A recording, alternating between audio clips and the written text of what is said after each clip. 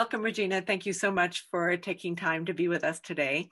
And just have a few questions I'd like to ask you about your beginnings as an activist and your ongoing life as an activist. What events or beliefs in your youth led you to become an activist? I'd like to think that uh, it started with me serving as a brownie in the Girl Scouts.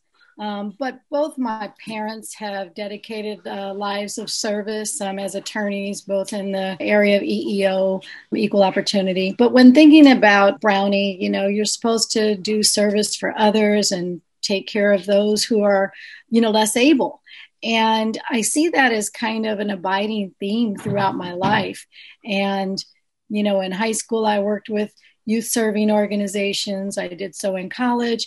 And while it was kind of a circuitous route, I found my way to this as a professional field and I had no idea it was like a thing. So I I thank God for directing and, and creating divine paths and it's become my passion and so there I am. Having found this path, what continues to motivate you and to guide you and give you courage? My motivation is a daily one. Um, I am connected at the hip to the young people that we serve at the East Oakland Youth Development Center, and quite frankly, to any youth. They don't have to be connected there, but that's been my my first formidable focus. And I think the courage comes from the fact that no matter what gate uh, you start at in life, you should have an equitable opportunity to achieve your promise or, or you know that typical American dream, right? And we do recognize that that is not the case. And so trying to fight for the rights of the poor, the disenfranchised, the young, the uneducated, the homeless, to be able to achieve a sense of normality, a sense of opportunity, and and their pursuit of happiness and quality living. That's my passion and of course, we do it through a focus of character based leadership and, and advocacy and, and positive identity formation because we really want young people to be the very best grown up people that we can have. You know, we see a lot of really bad examples. Do you have any hope in what seems to be a new resurgence of movement to justice and equity? A- absolutely. One of the things that continues to give me joy is that 20 years ago, we started teaching our young people to march. And so, in the unfortunate circumstance that has created the marching and the continuum of, of equity and better treatment by the police, and just the unfortunate circumstances for the most underserved, which tend to be Black and Brown people, it's become a new awakening. But we couldn't have designed it better in the midst of a pandemic where people can't not see it. And so you have a bunch of people who are now um, shocked at things that they never saw before. And you are giving tacit permission, even to those Black and Brown people who have never been activated before, to say, you know what? Now is my time to speak my voice, to share my truth. And it's permeating through the corporate. I've had lots of conversations with corporate entities.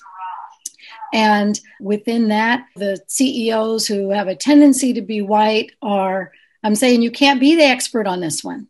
You actually have to listen to the subject matter experts of their own experience that that does give me courage and motivation and i hope that it does that it continues until real changes are made because we have a lot of folks that will talk but not a lot of action is done. Throughout time when we've even talked about affirmative action uh, the people who have been the voices to champion most of that in these systems have been white. And it's like okay or or even what do they call it? Reverse racism then you know it was the white female. And it's like guys if you really want to make change ask people who are affected what they think would be suggestions. You know it's kind of like in the youth development work. I'm always asking the kids well what do you think about this? What do you think about that? They are the subject matter experts. And I'm so proud of the activism um, muscle that has been uh, really worked and strengthened.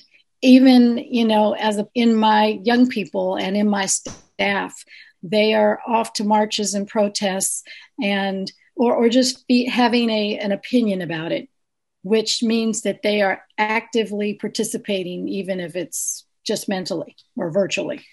So, yes. what advice do you have for youth activists?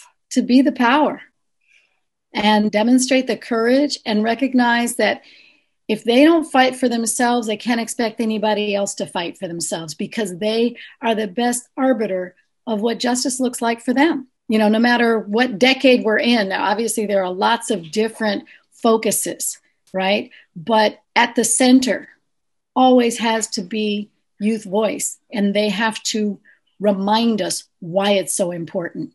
So I say face your fear, be the motivation, be that voice, bring your friends along, talk to your families, however they are, you know, whether it's grandparents, parents, what have you, and share your opinion because all too often people don't want to give a center voice to young people. They think, oh, they're too young, they don't know, they're not paying attention.